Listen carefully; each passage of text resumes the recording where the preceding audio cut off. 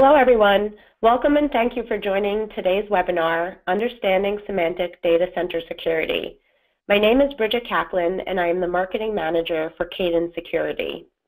Cayden Security is a cybersecurity solutions provider with over 13 years of experience. We partner with leading vendors around information security, risk management, and compliance.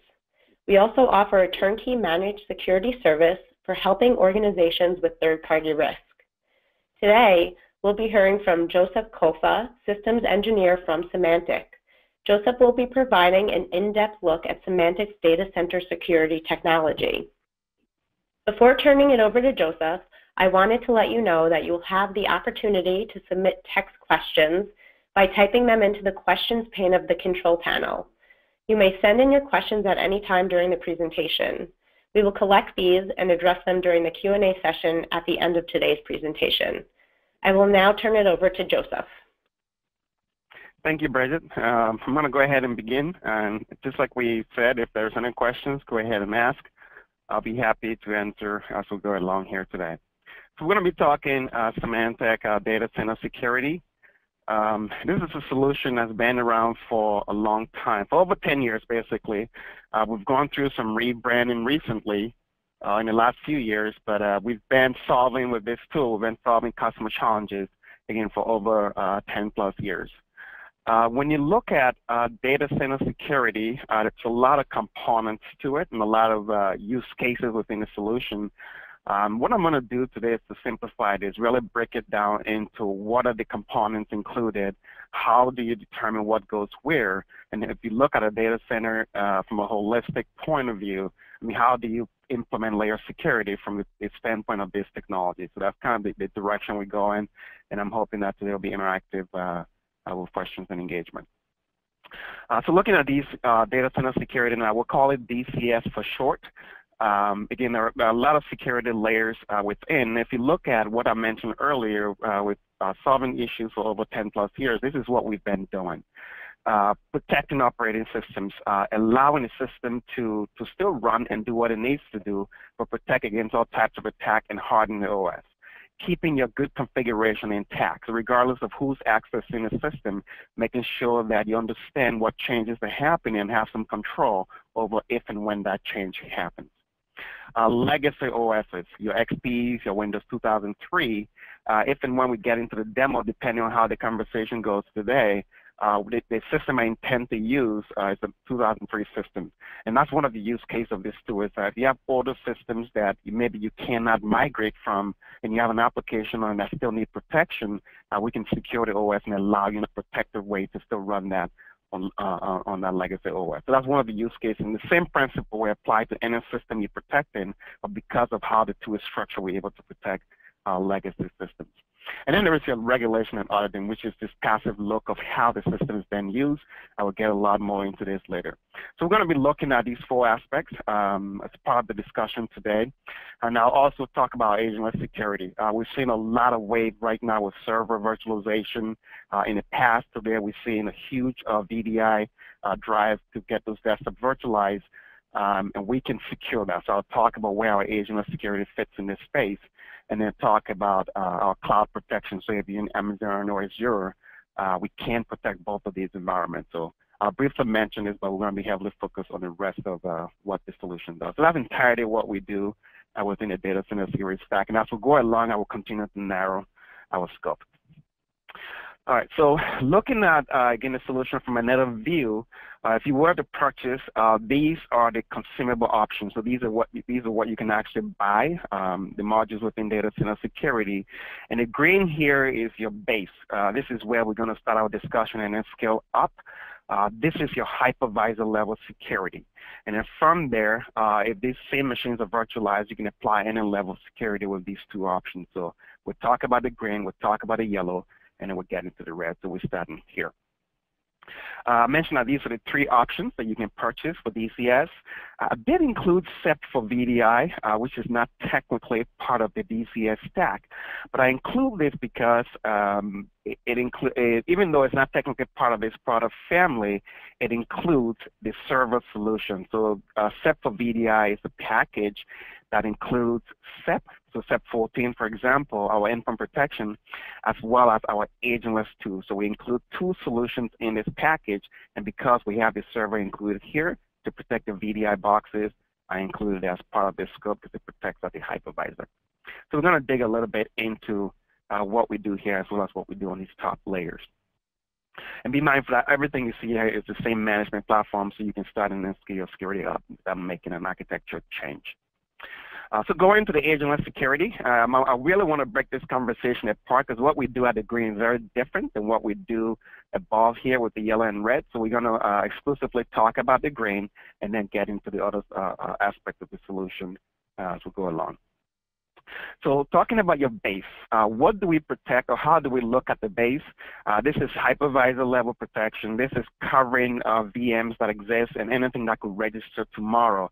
This is protecting your VDI boxes, maybe that exists or anything you can add tomorrow. And then uh, the two security layers that we provide uh, at the hypervisor is either AV or network IPS. Uh, if you're familiar with our endpoint security solution, uh, these are comparable to uh, those two security layers in our endpoint, so your AV layer as well as your network IPS. Uh, both of these we're able to deliver at the hypervisor without installing anything on your guest VM. Uh, to make this work, uh, there are some requirements that has to be met from the uh, both the VMware side and, and our side. Uh, the VMware is where we hook in, so uh, making sure that you meet the server side requirement is key. Uh, NSX, for example, is, is, a key requirement within the server side on the VMware to make sure that you, you're able to protect at the hypervisor. Um, you have a couple of options on how you meet NSX. Uh, again, this is your network and virtualization option within VMware, uh, relatively new within the last years, and uh, it also allows you to do security at the hypervisor. This is our plugin. Uh, this was VMware's first iteration of uh, meeting the server-side requirement for agentless security. I kept this in here just for uh, showing the roadmap and the migration path from vShield. Uh, VMware since end of life vShield, and if you're looking for vShield level, if you had the vShield manager and looking for vShield level, uh, a comparable level security, now NSX has a free version. Called NSX Free. This is the default install that allows you now to do AV. When you look at the two security layers, it allows you to do AV on your VMs. So just like you could do AV with vShield, now you can do AV with the free version. If you wanted to do IPS or add more security at the hypervisor, then some paid option has to be involved. So you'll be looking at a license option for NSX. But this has to be met. This is a hard requirement for us to plug in and provide that agentless uh, security. Um, I'm going to dig a little bit more into, um, and we're still talking about your hypervisor level protection. Uh, you looking at the architecture, you will have a vCenter server, uh, what may be new uh, in a lot of cases is the introduction of this NSX Manager. Uh, this is an OVA you download from NSX, uh, from VMware, I'm sorry, and then uh, set up, connected to your vCenter. Uh, there's a lot that this box does, and it can be daunting. but all we're looking for from the manager is that you can register this manager to vCenter, so we look at these two in pair. and your requirement is done basically. So we don't require a lot from um, all the extra stuff that NSX provides. Now you look at the environment, um, if you have multiple hosts in a cluster or multiple hosts in multiple clusters, uh, you can decide which host to protect in your individual cluster. You could protect them all, or you can selectively protect the host, that is uh, the VMs on the individual host. We don't install in any case anything on your host box. Uh, directly, we do put a couple of security servers. One is from us, one is from VMware. NSX allows you to install the guest introspection, which is a security service uh, that runs on the host, and you also install appliance. So for each host you're looking to protect, you will have two security services, two appliances essentially running on these hosts. And I will show you these appliances here in a bit. This number is not the total number of VMs we protect across the environment, but the total number we ask you to balance across your individual host machines. So if you're doing, I don't see this on the server side. Uh, VDI is where I see, I've seen up to 150 uh, uh, non-persistent VDI sitting on the same host, I've heard. Um, so theoretically, this could be possible, but uh, this is the max per host, so we ask you to keep this number down uh, to around 200 and below. Right, so I'm going to keep building on this. Uh, if you're looking for agentless security, these are the operating systems we support. So currently you can see clearly is Windows only. Uh, I think it was the last version of NSX where uh, VMware introduced now the, the, the client-side drivers for Linux, and we're looking to add that in our next release. So they basically tell us what's ready for agentless security, and we follow suit. So currently is Windows only we can protect Linux, and we'll talk about that here in a little bit. But if you're looking for hypervisor level AV or IPS in this structure, uh, it's currently Windows only. All right, so I'm going to stop here, and uh, we talked a little bit about the, the agentless security, talk a little about the architecture that it protects both uh, servers, workstation, and, and, and VDI sitting on top of VM. We talk about the server-side requirements. I want to jump in and add some pictures and color to some of what we've been talking about. So what I'm going to do is I will drag my uh, remote session onto the screen. You guys should be able to see it. Uh, double check that I'm signed in, and we'll connect some of the dots we just talked about. So what I'm doing and what I didn't show, and I'll probably do that right now, is a little bit of the architecture slide before I log in here. Uh, let me come back.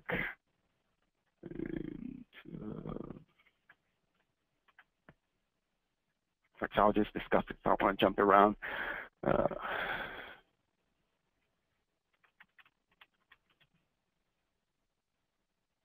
So I'm remoting into a, Windows box, which is my management server. Management is Windows only. The back end for this server is SQL. It can be local or remote.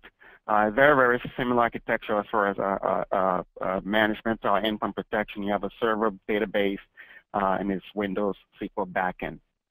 I'm logging into my management console for, and this is both agent and agentless security. So you will see components of both within the console. Uh, I mentioned NSX as a server-side requirement. Uh, you will set up this management OVA uh, give it networking information so it talks to the machine, and then register it to your vCenter. Again, there's a lot in here, but this is all we ask you to do after you, you set up this NSX manager is connected to your vCenter server. Um, this allows us then to do the rest of our configuration.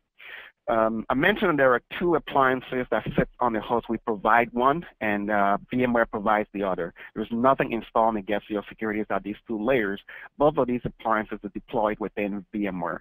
We provide ours, which if you look at our console, and that's usually your starting point, where you tell us about your vCenter server and your NSX manager, and then import your security appliance. Now, this is your virtual agent, basically. Uh, it's an OVA, comes with the install. You will import, typically you install an OVA directly in VMware. Uh, with this uh, uh, structure, you import the OVA, and then we push it out to vCenter for installation. So at this point, you're ready to install it. So two things you would push out. First, make your appliance available, and then also if you intend to use or whatever policies, security policies you intend to use within uh, VMware, uh, those policies will also need to be published. And I will show you uh, what that looks like here. Uh, if you look at your security policies, you can see the status. There are three different statuses uh, visible for your security policy. Uh, what's available in NSX or in vCenter, those are your published policies. What's not available and what you've modified and can you know, update if you needed to. So as you modify, you can, you can add those updates or push out whatever updates you have to vCenter. These policies will be available as I'm configuring. So two things, push out your appliance, get your policies in place, and then the rest of your configuration will be done in vCenter.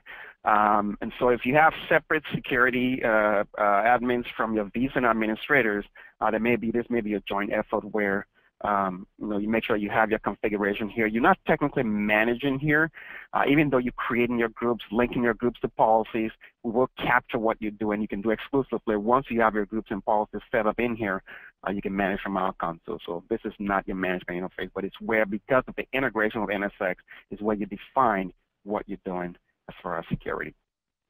Okay, so we have our appliance pushed out. Uh, this is the appliance. You can see that uh, the, uh, the OVA import and push makes the appliance available. So the next thing you do is to verify that it's here, and this is your guest introspection. So these two services will need to be installed on every host that you want to protect. Installation with the NSX, so uh, set up your service deployment, and if you have multiple hosts in your cluster, you can push out uh, the two services to as many hosts that you would like to protect. This satisfies your AV requirement. Uh, if you also wanted to do IPS, you will need to prepare the host, uh, and this allows your individual hosts or collectively to route traffic to us so that we can scan it with those definitions set uh, to make IPS level detection. Uh, the security layers within, I'll just break this down while we're here. The security layers within the tool, you have your AV, which includes your real-time scan. So if something gets open actively, we detect it, as well as your schedule. So if you want to run periodic scans, if you're doing that right now and want to continue running your sweeping scans, this will do that as well. So it will queue up machines and scan them as well as protect them real time. So we're looking both inline as what's coming over the network, as well as what's coming on the file system, and we can go out and check. So we have our appliance in place. We have our both IPS ready. We have our AV ready. Uh, and then from there, you define your security, I'm sorry, you define your security groups and policies on your Service Composer. Uh, if you think about how familiar with our endpoint security tool, our Symantec endpoint security, uh, there's a clients and policies tab where you create your groups and policies. If you look at this architecture, you're actually creating your security groups directly in NSX and linking the policies you publish to that security groups, which is what I've done here. I'm not going to go into too much details here, but I wanted to at least show you what the security groups look like. If you're interested in protecting VMs, this tells you how you can target within your structure what you want to protect, how you, you want to separate your VDI from everything else. Um, in a lot of VDI conversation I go into customers with, um, they have the VDI all in the same cluster. So if you're creating this group to protect server or VDI, give it a descriptive name, uh, tell us what makes this group unique, and you have a couple of ways to do that.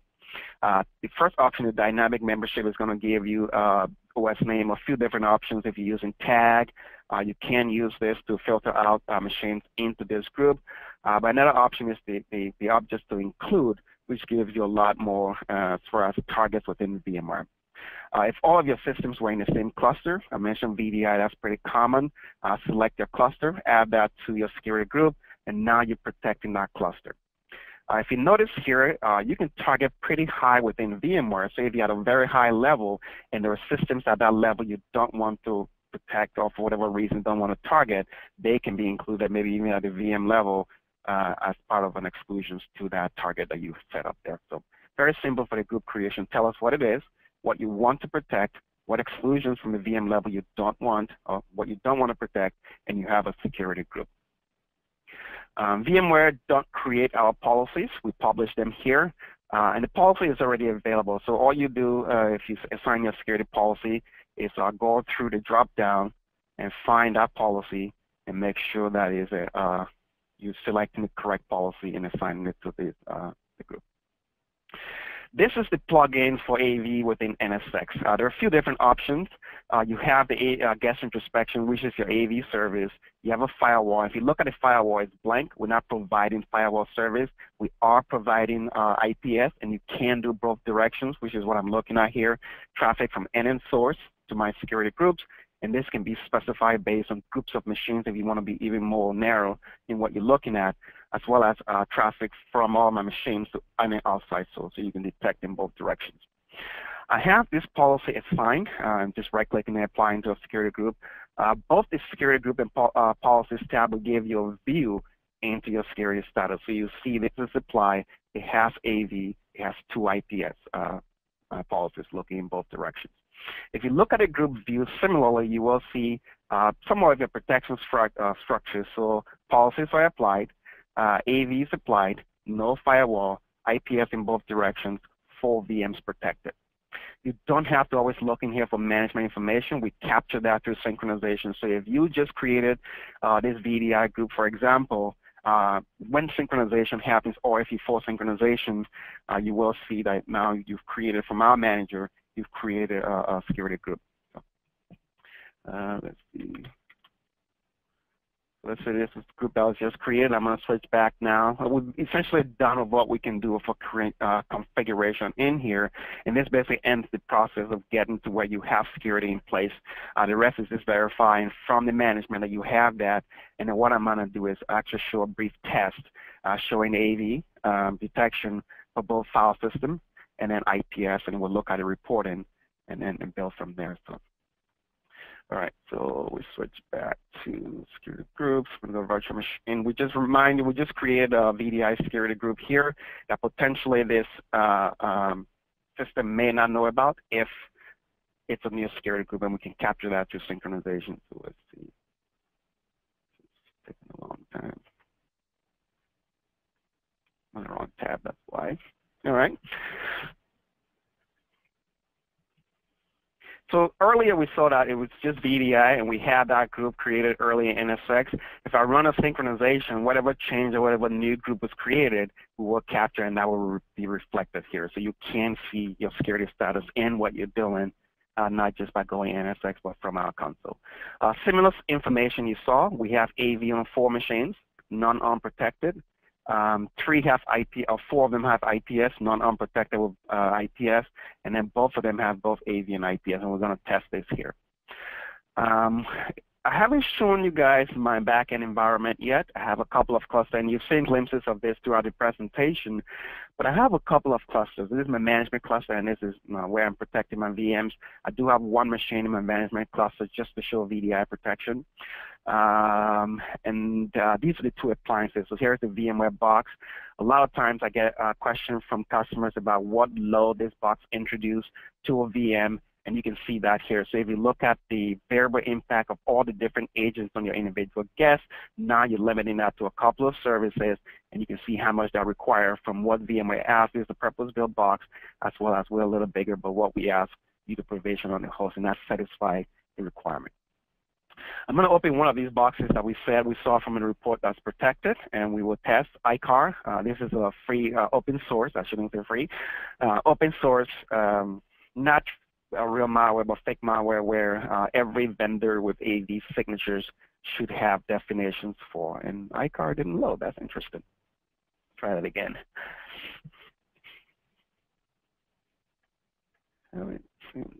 let's try another box.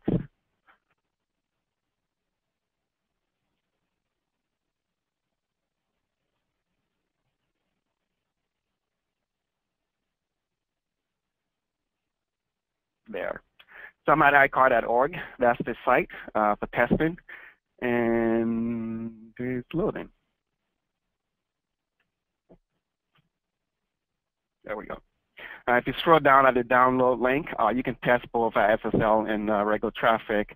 I'm going to open both of these, and you will see uh, the, the pop-up here, all the, the uh, extra window here, those are IPS detections. And you see as we open in this, we're not allowing, allowing the file to write to the file system and we detect them inline. Both of these detections are on the management side. So if you look, for example, you see a source destination port, etc., in both of these blocks, and then we didn't allow these files to be downloaded. I'm going to switch uh, to my monitor. Uh, so you see that as these, uh, just like in enterprise level tool, as we are making these detections, you have them uh, in front of you categorized both from a malware standpoint as well as your IPS detection. And I'll show you briefly what this looks like, and we can shift gears here.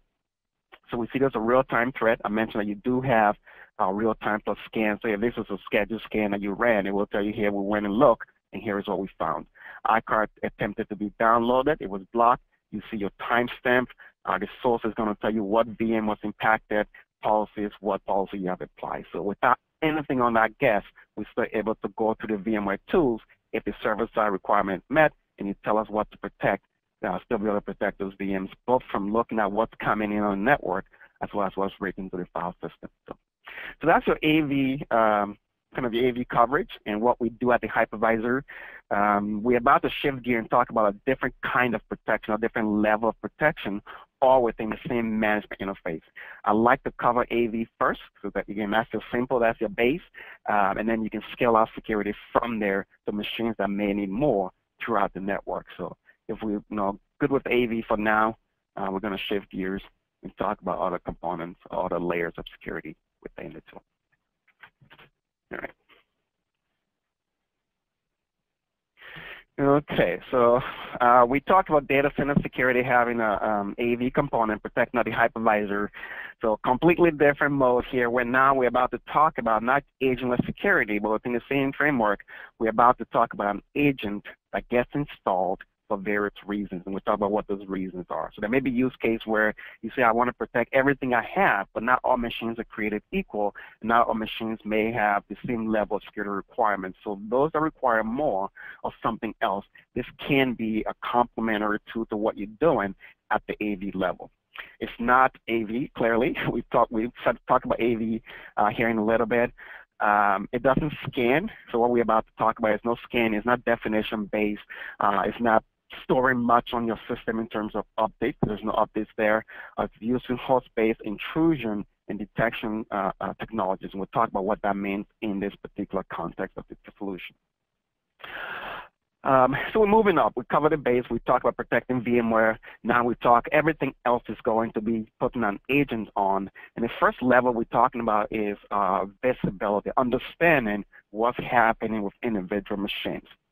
Uh, if you take any server, maybe a web server, a server in a pub, uh, DMZ, a critical server internally, um, having an AV2 on there, an endpoint 2 that's protecting the file system, looking at heuristics, looking at different components of how what's happening there, making those detections great. Uh, but there are a lot of attacks we see specifically against servers that a lot of those endpoint tools may not necessarily consider security events. They're doing what they're built to do, but they're not looking in areas where we see common areas where we see servers getting attacked. So let's say you have a critical box, regardless of what it is or where it's sitting. Um, somebody log into that box. I mean, would you consider that a security event?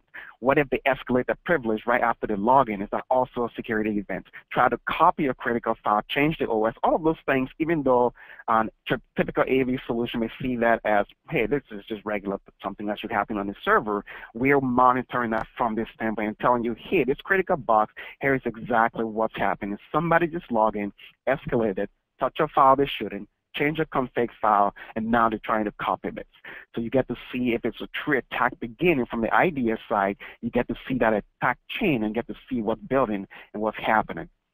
Um, this all these capabilities will come with an agent, and IDS is passive. It's not going to block in any of these categories what's happening, but it's going to tell you real time, here is what's happening on this box. You may want to go investigate, slap somebody's hand, prevent that from happening, maybe through an out-of-band method. We can, of course, do it.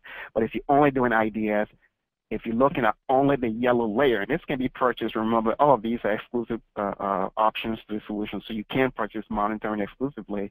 Uh, if you only had that option, you're just looking at real-time visibility for both Windows and Unix systems um, across your environment. Um, this also satisfies, and I'll go a little bit more into this, but this also satisfies PCI, and I talk a lot about uh, a lot of financial customers about this.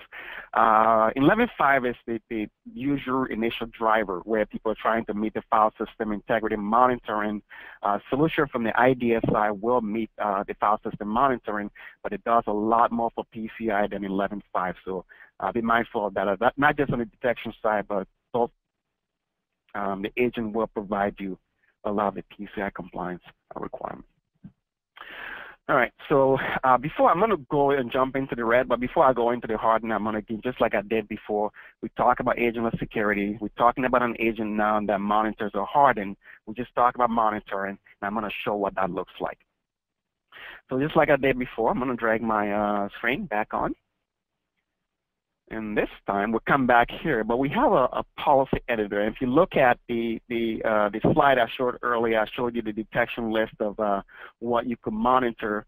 That loosely matches uh, what I'm calling our baseline.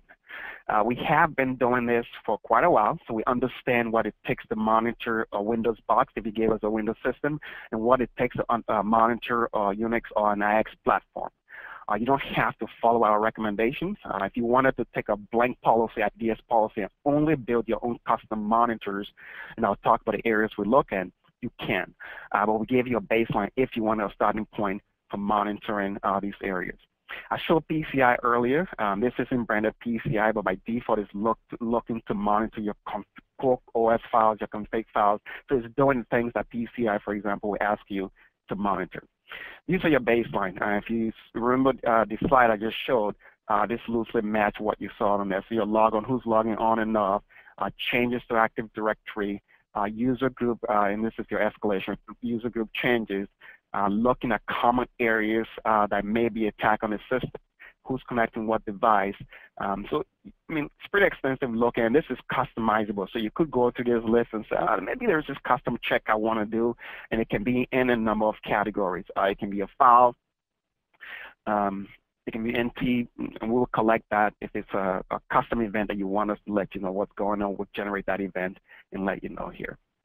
Uh, I, am going to, um, because of time, uh, usually I demo these separately, but because of time, I'm going to do one use case that show both detection and uh, prevention. So we talk about IDS, but when I actually showed it, uh, the IDS and the uh, use case, we'll link them both and then look at the uh, report from there. so I'm coming back here. Um, to the policy base. A couple of things I will open up, uh, and then we can switch over and talk about prevention. We'll come back and test this, of course, uh, but a couple of things I want to show you from the baseline. Who's making account changes?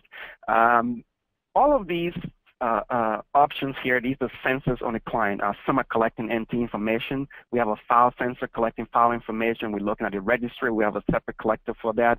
So to get file information, for example, we don't depend on NT events, but if it's an NT event, we'll tell you, hey, here is how we're categorizing that. So you can always see how we're collecting what makes a lock account lock. So we're looking at what events associated. So similarly, if you have a critical security NT event that you want close to real, real time or close to real time, this is the last step. You can actually add it um, to the template as you need to. So who's logging on, AD changes, etc. FIM is a common one. Uh, this uh, uh, the default will look at your your sys file. Um, we'll look at the OS core and monitor that because a lot of compliance requires you to know what's going on with the operating system core. If you do anything uh, different uh, than what we specify, that can be added here. So can use the baseline or do your own custom rule. I have a custom uh, um, um, use case created here where FIM is the most common use case for IDS or file integrity monitoring. And so I have a file integrity monitoring use case where I'm looking at creation, deletion, checksum difference, so I get the hash, uh, file differences, um, and then specifying the path here, which is my important stuff. So whatever happens here, I want to see real time. So we'll see this use case here in a little bit. Um, so what we've talked about so far is the ability to understand in various categories based on a baseline we provide uh, what's happening on your system and being able to act on that either through, I'm sorry, go back a little bit, either through out of band or through our prevention options. So know what's going on and act you know, as you need. Now, it's great to know, but um, I think it's better to be able to prevent and still know, and that's where our advanced offering comes into play. Uh, we have AV in place. We're protecting at the minimum everything that exists or could register to vCenter tomorrow for those critical devices that require real-time visibility in those areas we talk about or require FIM or file integrity monitoring for compliance. We satisfy that through our monitoring edition.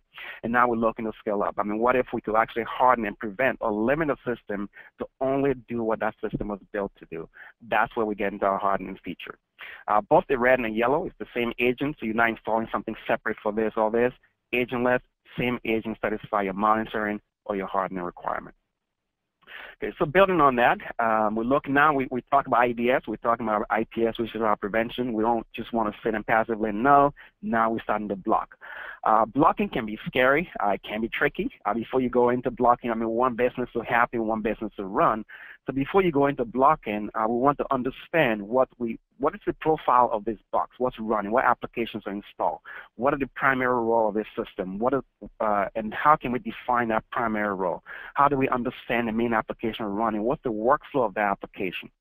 Uh, these are our kernel drivers, so we see what's happening with the application. We see what file access, reg, network, uh, and we can even wrap that up all of all those access temps into a policy for you and say, for this primary application on your server, here is what it needs to function. We're going to sandbox it, we're going to isolate it, protect the OS, and only allow that specific role to happen. Everything else is excluded. So whatever is not part of that initial security profile that you learn and understand and now you're enforcing doesn't happen, including the zero-day or any other offsite threats. So OS is protected. We're looking at network, looking at file registry, and how other aspects of the system could be used. I mentioned sandboxing. Uh, that's at the core of uh, how, uh, on the IPS side, how this technology works and what it does. Um, you can, today sandboxing is common, so you can go out there and find, easily find a sandboxing tool. Uh, when you look at sandboxing itself, there, there are some unique challenges with it. Um, usually when we, we whitelist in our sandboxing, uh, we do, I would say whitelisting instead of sandboxing is the closest to the concept we're talking about. Uh, when we're whitelisting, we are um, we're, we're doing on a good day. We're saying we trust this application either because we trust the vendor, we created it on our own, and we're going to allow this application unrestricted access every day. Usually it's you know, the entire system, and it's on a good or bad day. So let's say that custom application that good application tomorrow becomes a bad application because of vulnerability or whatever associated with that. Now you have the chance of going back and redefining what that application does or what level of access it should have on the box.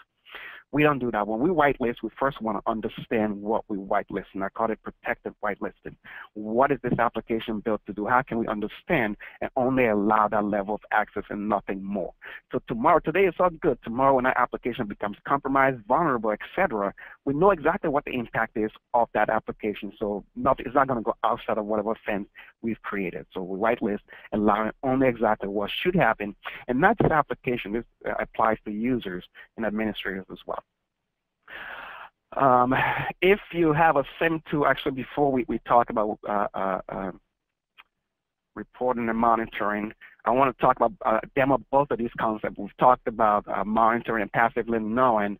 We talked about hardening, whitelisting, and understanding what's happening. I'm going to show talk about um, demo or pre prevention, and then we can talk about um, we test both of them actually.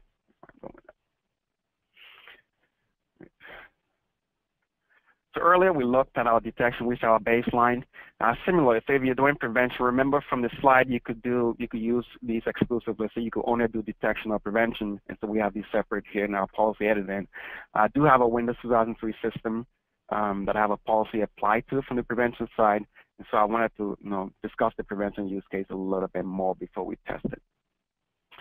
Uh, this is your policy. Uh, one of the first things you do is make sure that when, if you're going to work with a, a, security policy that is turned off, uh, this puts your policy in a, where, can move this down, move this over, this way up, there we go. This puts your policy in a, what we call learning or profiling mode. Uh, in either case, whether it's on or off, we see what's happening on the box. If it's on, we stop what we should and what the policy said we should. If it's off, we tell you here is what's happening and do something with this profile data. Um, there are multiple ways we can collect that and put it back in the policy. Understanding what's happening in the system uh, is the beginning uh, actually to getting some enforcement in place on the prevention side. We have default policies you can pick um, or build your own. If you build your own, you will walk through these earlier policy settings uh, to define what you're trying to do. If you create it, uh, if you pick one, it will have all of these defined uh, for you. Uh, so I'm going to quickly just look at uh, the options within here and we test this. Uh, your protection strategy is overall how you're targeting uh, this system.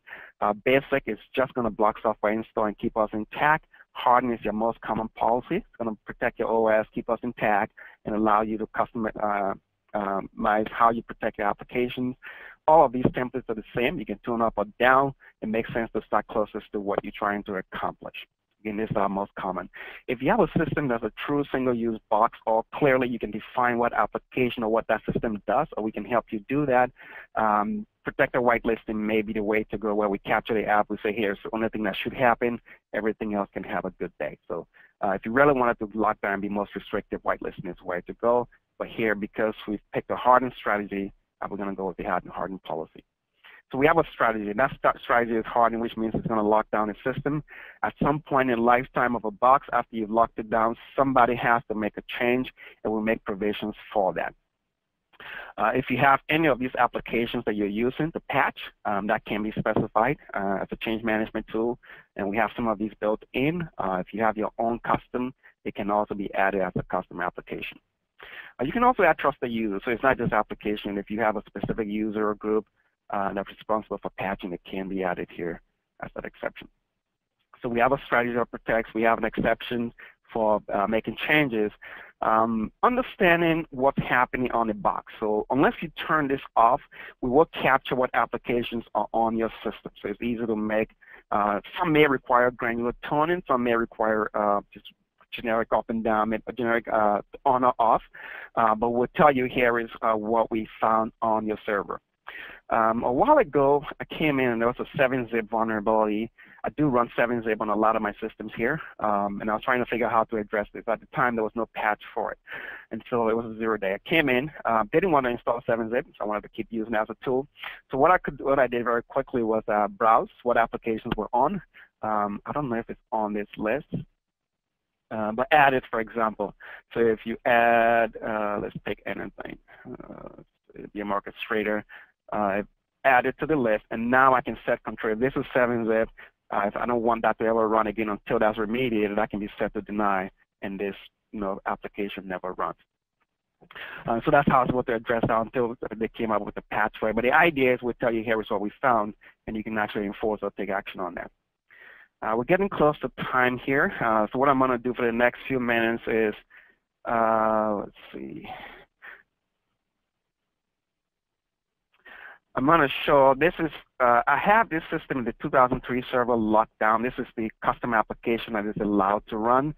And so I have that uh, separated here from everything else. So it has its own rules and policies and access uh, rules.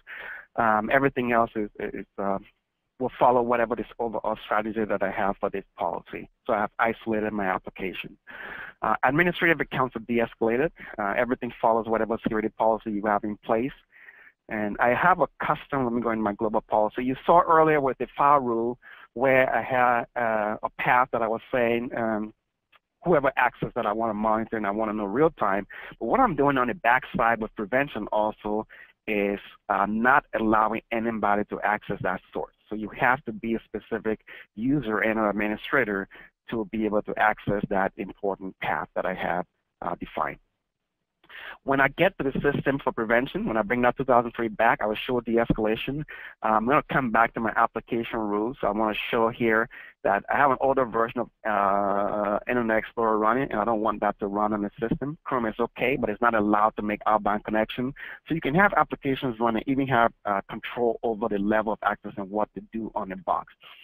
Um, this app, uh, this policy has been profiled, uh, it's been toned, and it's applied to the system. So what I'm going to do, I'm going to cancel this and we drag that Windows box.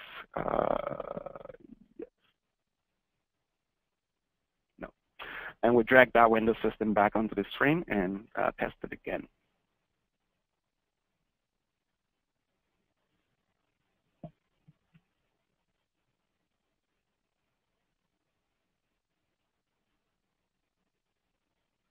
I'm, I'm going to do a couple of users. So I'm going to use a console session.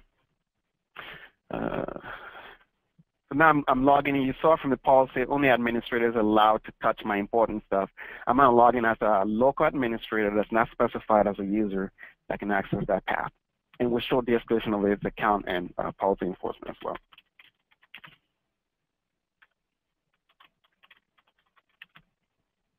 All right, so I'm in. I'm a actual domain administrator for that matter, not a local. Uh, I'm going to launch IE, not an approved application here, and as an administrator, I understand that that attempt happened. Uh, Chrome is okay, but right now I'm not allowing it to make any outbound connection. Uh, so you see that block. Uh, let's see. But my main application is allowed to run, which is my what this server is built to do. So you can still isolate that application, give it what it needs. Uh, it may not run under this user, but give it what it needs uh, to exclusion of everything else. So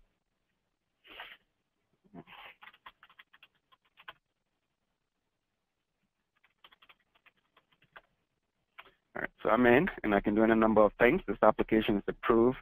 Uh, I'm going to go down, I talk about OS core and making sure that nobody's changing down here. I'll just go into Windows 632 uh, and try to delete something real quick.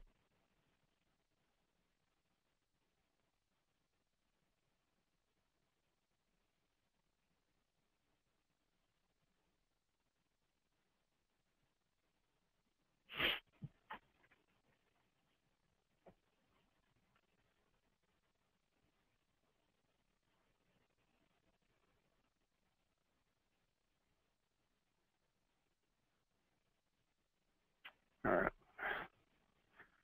So I have these, all of these. If this is a attempt, maybe I got in here as a regular user, elevate my privilege. I have the login attempt. All of these changes, whatever's happening is interaction. I have these in front of me. If you have alerting set up on the management side, you're receiving these alerts as these tamperings happen or whatever's been used or whatever's happening in the box. I'm going to log off real quickly here.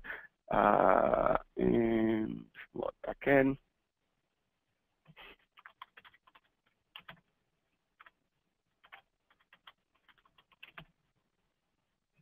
What I didn't show uh, was uh, access to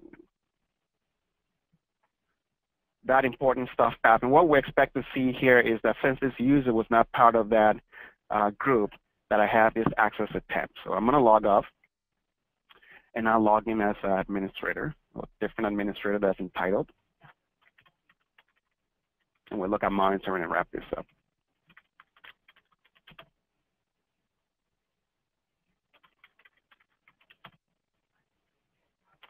Okay, so now I'm going to go after the same path. Different user, all the same, uh, uh, uh, everything we talked about apply, but now I'm entitled to access this and uh, see what's here.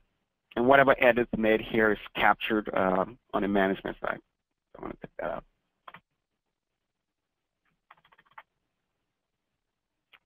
All right, so same thing. Uh, whatever uh, security profile is enforced, regardless of the administrator, you still respect the policy that's in place. All right, so I'm going to switch back to monitor and let's see what's been going on on those boxes. And then one more slide and we're done. All right, so a couple of things we saw. We saw some prevention events. Actually, I'm going to start with detection real quick. Uh,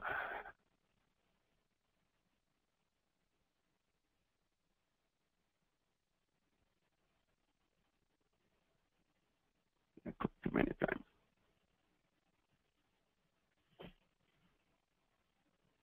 There we go.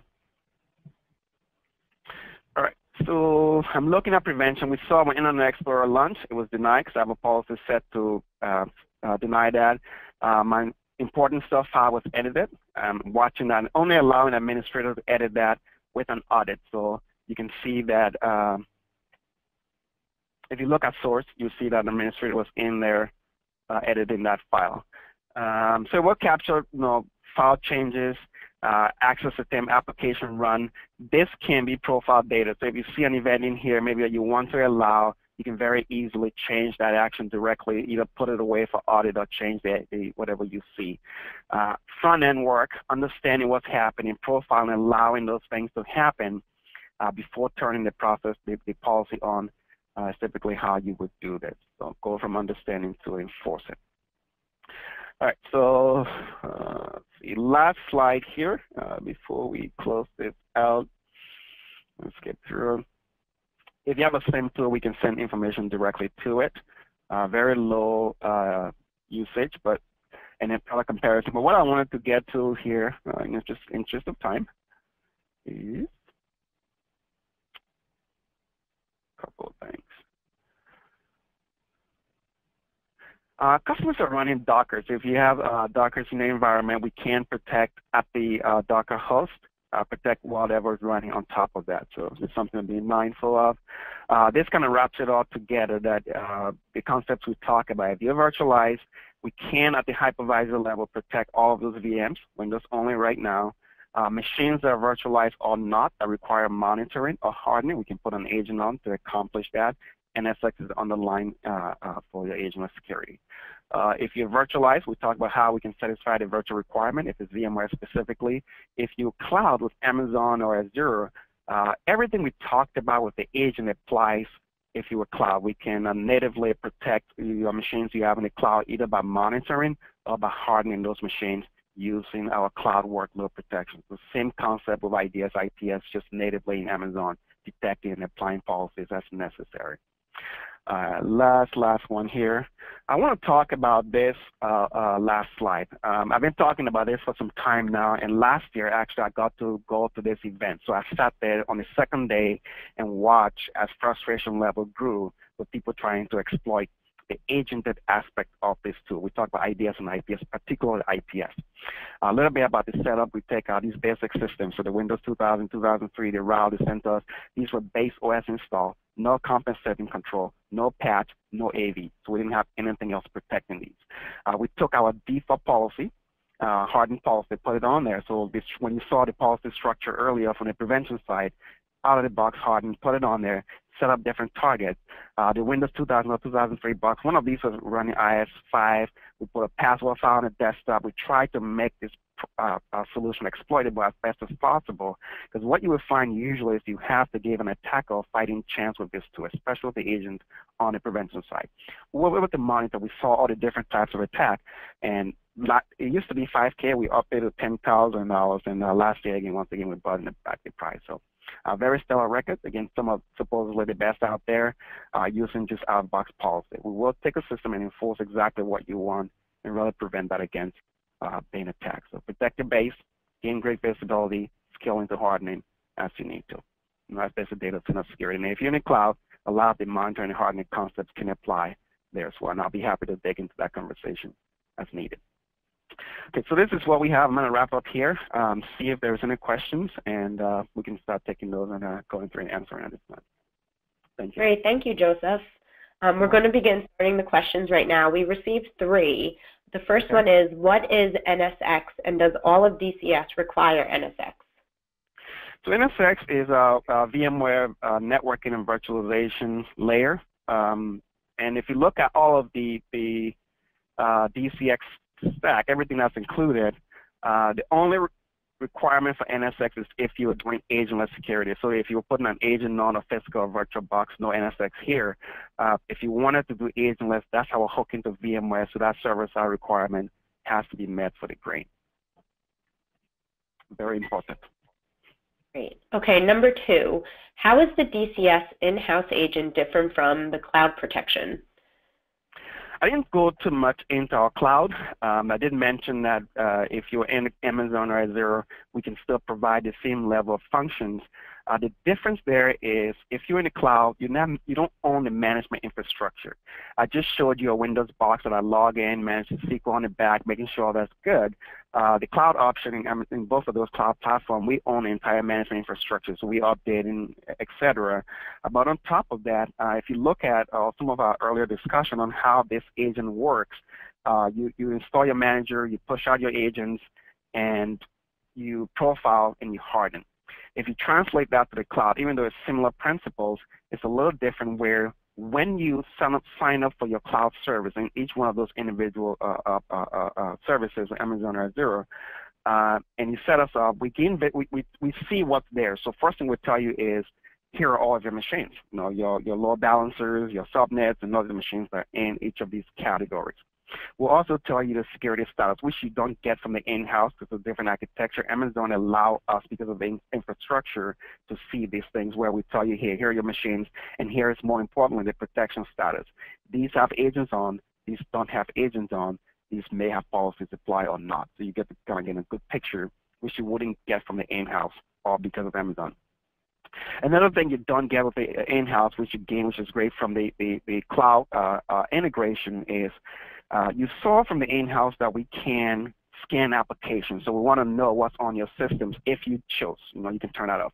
In the cloud, as we're scanning these applications, we now we add another step, which is a service typically that you pay for from Symantec.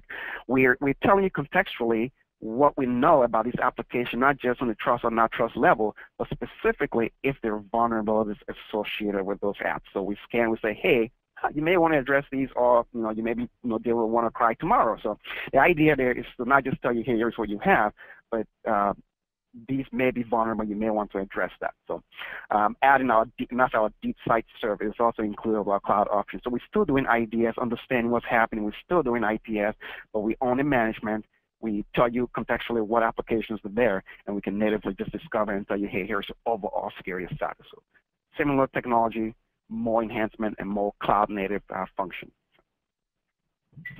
Great.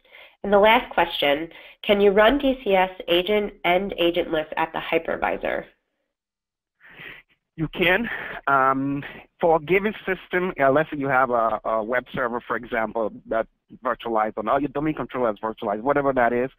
Uh, if you have an agent, um, if you don't have an agent installed for AV protecting that the hypervisors, you know, it's in a server group and you have an AV policy apply, and that system also need, that AV isn't going to guarantee that nobody goes in and steal your domain database. It doesn't care if somebody targets your domain database.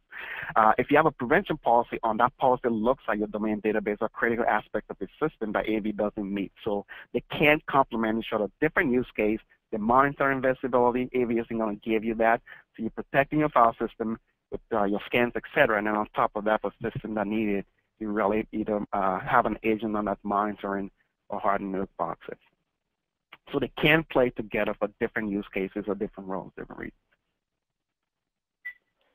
Great. All right. Well, thank you, Joseph, and thank you, everyone, for attending today's webinar, Understanding Symantec's Data Center Security. If you have any other questions, please contact me, Bridget Kaplan, at bkaplan at caydensecurity.com. On behalf of Cayden Security and Symantec, thank you for joining us today and have a great rest of your day.